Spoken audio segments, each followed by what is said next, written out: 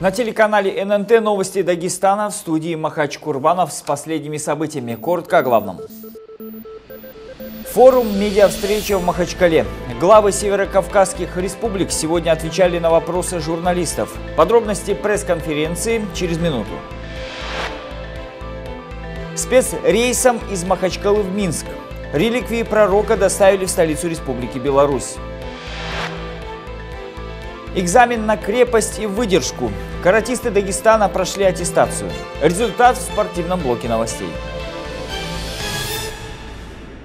Объединят ли районы, республики и города? И на что Дагестан потратит грант размером в 1 миллиард рублей? Эти и другие вопросы были озвучены на пресс-конференции с главами субъектов СКФО сегодня.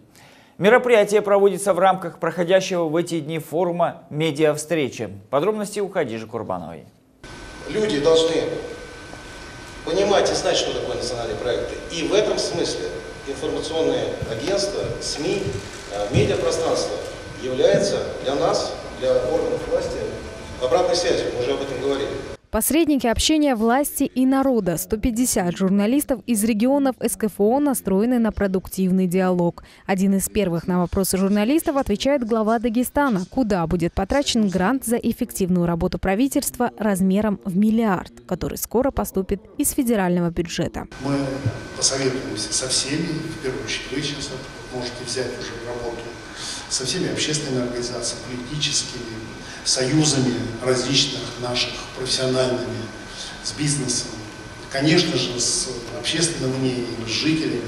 Мы проведем широкую, неформальную дискуссию, выберем лучшие гранты и уже проекты, их обсудив, выйдем на работу, она у нас налажена, с парламентом, опять же, публичная, с тем, чтобы утвердить в уже расходы.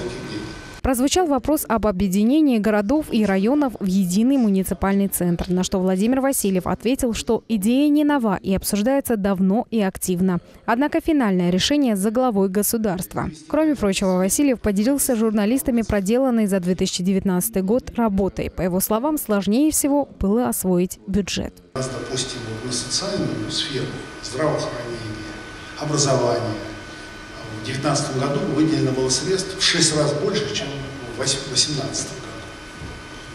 Это было испытанием для нас, потому что мы начали с работы с кадрами. Мы понимали, что если нам, победив терроризм, уголовные преступления, не навести порядок в сфере противодействия коррупции, теневой экономики, злоупотреблением, у нас ничего не получится потому что деньги бюджетные уходили нецелевым образом. Из всех глав субъектов СКФО на медиавстрече отсутствовал глава Чеченской республики. Тем не менее, коллеги из Чечни в пресс-конференции принимали активное участие. В частности, один из журналистов обратился к полпреду с вопросом о значении блокпостов между республиками. Практически эти посты существуют на всей территории России. Называется контрольно-заградительная система. Преступления, которые совершаются, и преступники вводят различные планы, тайфуны, вулканы. Как их останавливать, скажите, пожалуйста. Нормальному э, человеку, который живет э, значит, спокойной жизнью, законно, и не, не нарушает закон, это никакой проблемы нет. В завершении пресс-конференции главы республик рассказали, с какими фейковыми новостями они сталкивались в ходе своей деятельности и как на них реагировали. Я не скажу, что такая проблема. Если бы я сказал, например, тема моего дальнейшего процесса работы или не работы, ну, думаю, у моего предшественника их было больше, я знаю этих вещей, но как к этому относиться? Да никак, работать все. Спасибо. Хадижа Курбанова, Магомед Магомедов, телеканал ННТ, Махачкала. В Кулинском районе торжественно открыли сразу два моста. Все это в рамках госпрограммы развития республиканских, межмуниципальных и местных дорог Дагестана – от имени главы региона местных жителей с этим событием поздравил первый вице-премьер республики Гажимагомед Гусейнов. Мы э, будем строить э, дороги с твердым уже покрытием, с асфальтом до, до районных центров всего горного Дагестана. Все районные центры, которые, на которых нет асфальта, все районные центры во всем горном Дагестане будут обеспечены асфальтом. Два открытых моста в районе имеют стратегическое значение. Они расположены на 21-м километре автодороги Кумух-Вихли-Вачи. И на 123-м километре автодороги Мамраш-Тахкапур-Араканский мост. Вопросы профилактики вовлечения молодежи в экстремистскую деятельность обсудили в Дагестанском государственном педагогическом университете. Там прошла вторая региональная научно-практическая конференция. В ней участвовали представители власти, религиозные и общественные деятели. Эксперты предостерегали школьников и студентов от пагубной идеологии терроризма. Выступившие отметили необходимость совместной работы общественных организаций, органов власти и вузов республики. Экстремизм направлен против конституционного строя Российской Федерации. Если мы не будем придерживаться, не бороться с этим вовремя, она будет, мы, кого вырастим, мы же не знаем с вами завтра. Нам, молодежь, это самая активная часть Республики Дагестан, Российской Федерации в целом. Если их правильное русло не направить, их не трудоустроить, не контролировать, не создавать рабочие места им последующим, конечно, у нас возникнут проблемы. Из-за этого мы боремся с этим, создаем необходимые площадки. Эта площадка своего рода, знаете как, мы примем резолюцию круглого стола, будет сама конференция в целом.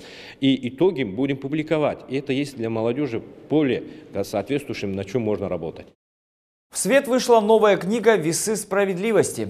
Над изданием работали сотрудники отдела образования и науки при Муфтиате Дагестана. Презентация труда состоялась в Национальной библиотеке Махачкалы. Подробности узнавал Хамза Нурмагомедов. Книга на русский язык переведена с арабского. Ее автором является сирийский мусульманский ученый 20 века Абдулькадыр Исадияб. Он написал это издание, чтобы люди могли отличить истину от лжи в религиозных вопросах. Сотрудники отдела образования и науки при Муфтиате Дагестана работали над ней 7 месяцев. Автор разделил книгу на несколько больших разделов. Э, имеется раздел, касающийся, например, вероубеждения акиды мусульманина, так как мы знаем, что ну, акида иметь правильное вероубеждение очень важно, ибо без соответствующего, без соответствующего правильного вероубеждения рушится и религия человека. Далее такие важные разделы, как э, мусульманское право, основа мусульманского права, суфизм и так далее. На презентацию пришли не только преподаватели и студенты религиозных образовательных учреждений, но и светских вузов. Эксперты отметили, что книга рассчитана на широкий круг читателей. Особенно полезным она будет для тех, кто занимается профилактикой идеологии экстремизма и терроризма в молодежной среде. Теперь появилась возможность для всех тех, а, кто работает с молодежью по долгу службы, а, начиная с правоохранительных органов, представителей, которые занимаются этим вопросом, и также теми, которые занимаются органы государственной власти так или иначе сталкиваются с этим вопросом, для них это будет незаменимым пособием. Потому что по своей практике, по своей работе я это знаю, что а, на идеологические вопросы можно ответить только таким же оружием, то есть быть идеологически подкованы. Отдел науки и образования при Муфтиате за 4 года существования выпустил уже более 50 изданий на русском, арабском и национальных языках. В ближайшее время к печати готовятся еще две книги, авторами которых являются Магди Мухаммада Сугури и Умар Афанди Алигали. Они посвящены тому, какие науки и книги изучали наши предки в Дагестане. Хамза Нурмагомедов, Магомед Магомедов, телеканал ННТ, Махачкала. Спецрейсом из Дагестана в Минск доставили бесценные для мусульман реликвии, предметы, принадлежавшие пророку Мухаммаду, мир ему и благословение, членам его семьи и ближайшим сподвижникам. В их числе чаша пророка, кувшин его дочери Фатимы, ключи от Каабы, фрагмент черного камня Каабы. Они будут представлены в музее на протяжении трех дней – 6, 7 и 8 декабря. Ознакомившись вот с этими вещами, перейдя на знакомство более углубленное, душевное, умственное, интеллектуальное, всем своим существом – жизни и деятельности тех далеких предков мусульман, которым эти вещи принадлежали.